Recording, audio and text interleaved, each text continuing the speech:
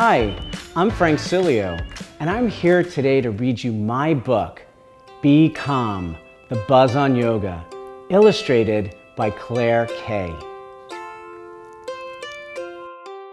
Bentley Bee lives in a hive in a beautiful place with colorful flowers and open space.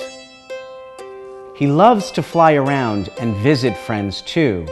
From up above, he has a bee's eye view. One day it was warm with bright sunlight, the perfect day to go for a flight.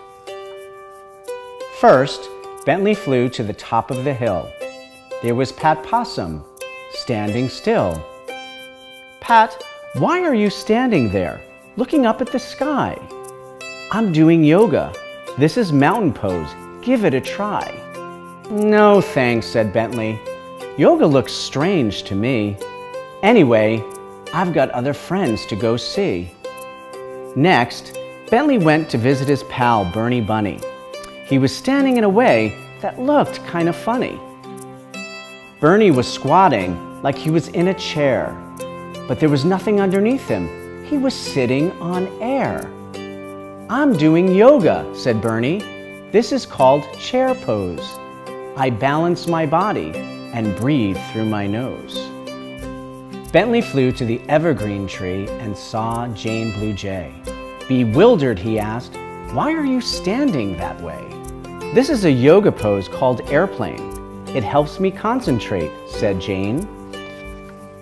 Then something caught Bentley's eye. He couldn't help but stare.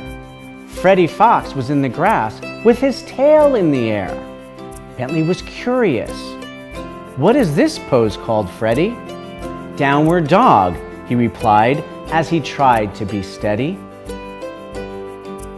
Bentley flew on. He saw Abby Ant on a rose. She was also in an unusual pose. That pose looks fun. Could you teach it to me? Of course, said Abby. This pose is called tree. Put your foot below your knee, Abby said. Place your hands by your chest or over your head. Bentley tried to balance his body. He began to wiggle. I'm a tree, he said, and he started to giggle. I like this pose, said Bentley, but what's all the buzz? What is yoga? I'm still not sure what it does. Yoga exercises the body and mind. It helps me focus, feel calm, and unwind. The practice of yoga began a long time ago. Give it a try. Be patient and go slow. Yoga should feel good, so don't push or strain.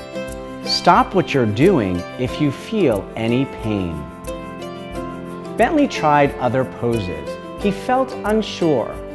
He kept an open mind and tried some more. He learned warrior, child, and cobra pose too. The more he practiced, the more he could do. Soon, Bentley was doing yoga alone, with friends whenever he could. Although it could be tricky, it made him feel good.